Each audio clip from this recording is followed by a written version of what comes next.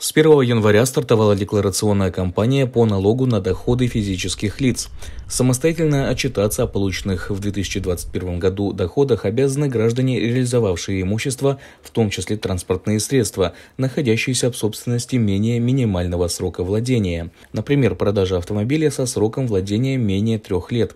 От сдачи в наем имущества в случае получения подарков за исключением близких родственников и членов семьи, а также других доходов, при получении которых у налогоплательщика налогоплательщика не был удержан налог. Задекларировать полученные доходы без посещения налогового органа поможет сервис «Личный кабинет налогоплательщика для физических лиц», размещенный на сайте ФНС России.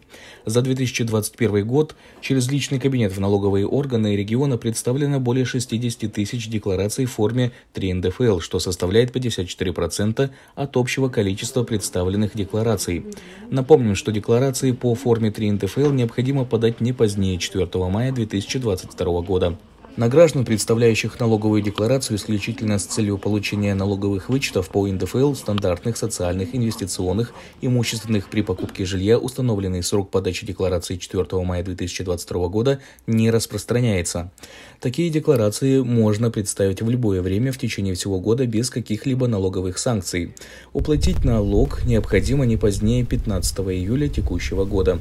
Для получения доступа к сервису «Личный кабинет налогоплательщика» для физических лиц необходимо обратиться в любой налоговый орган или в офис МФЦ с документом, удостоверяющим личность.